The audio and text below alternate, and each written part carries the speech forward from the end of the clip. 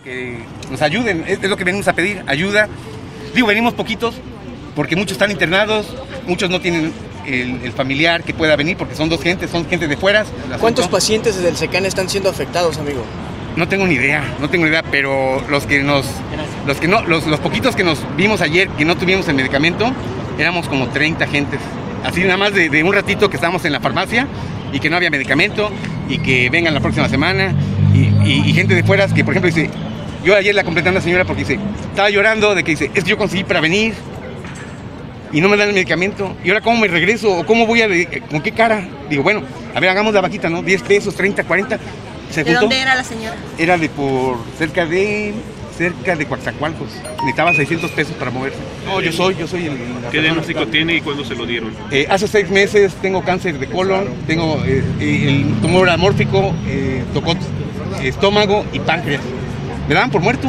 O sea, he tenido una evolución increíble, increíble, donde, donde me recuperé, donde he evolucionado muy bien. Llevo ocho quimioterapias y de repente no hay medicamento. Mi temor es ese, ¿no? Que tenga yo una recaída, que haya metástasis, que de nada haya servido luchar seis meses, como no se imaginan, con uñas y dientes, por no morirse, ¿no? Y bueno, aquí estamos. No hay medicamento. Ateca me ha ayudado también excelentemente. Pero te digo, mi receta es 70 mil pesos ¿Por mes? ¿El mes? por, por mes, 70 mil pesos. Y el medicamento más caro es este, que es el, se llama Bevacizumab, que vale, cada frasco vale 25 mil pesos de 400. Y el de 100 le vale 5 mil y fracción. Entonces es insostenible, es insostenible. Comenzamos muy bien, digo, hasta vendió la camioneta a mi mujer, o sea, iniciamos bien, pero ya no podemos. ¿Ustedes de aquí de Jalapa? Aquí de Jalapa. ¿A qué se dedican? Era, trabajaba yo en una constructora este, independiente. Eh, obviamente no había seguro, no había nada, y de repente fue una emergencia, ¿no?